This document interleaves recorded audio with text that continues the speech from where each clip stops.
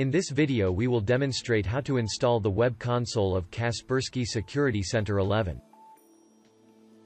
Web console is not required to be installed together with Kaspersky Security Center, you can install it on any other computer like an ordinary application. The web console's distribution is located in the Unpacked Administration Server folder. The current version of the web console can be downloaded from the Kaspersky Lab technical support site. Run the installer and select the language for the installation wizard. On the welcome page of the wizard, click Next. Accept the license agreement and click Next. We recommend that you use the default installation path. The web console can be installed on a separate server. If necessary, change the port for connecting to the web console. UDP port 8080 is used by default. When installing the web console, you can verify accessibility of the web console connection port. Click the test button in the installation wizard. The web console installs several services in the system. At this step, you are prompted to select the accounts under which the services will be started. We recommend that you use the default accounts. In this case, the web console services will start under local system and network service. Now, decide which certificate to use. The installation wizard can generate a self-signed certificate automatically. Alternatively, you can specify another one. The most important step is adding a trusted administration server.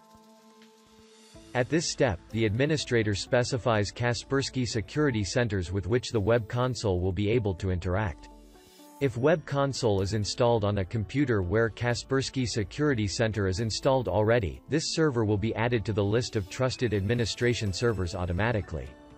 Otherwise, you will need to manually add the server, its address, port, and, last but not least, the path to the administration server certificate. The web console connects to TCP port 13299 of Kaspersky Security Center by default. Click the Install button to start the install, which will take a few minutes to complete.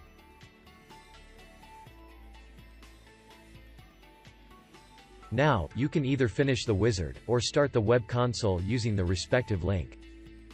You can work with the web console via the following browsers, Google Chrome, Mozilla Firefox, Apple Safari.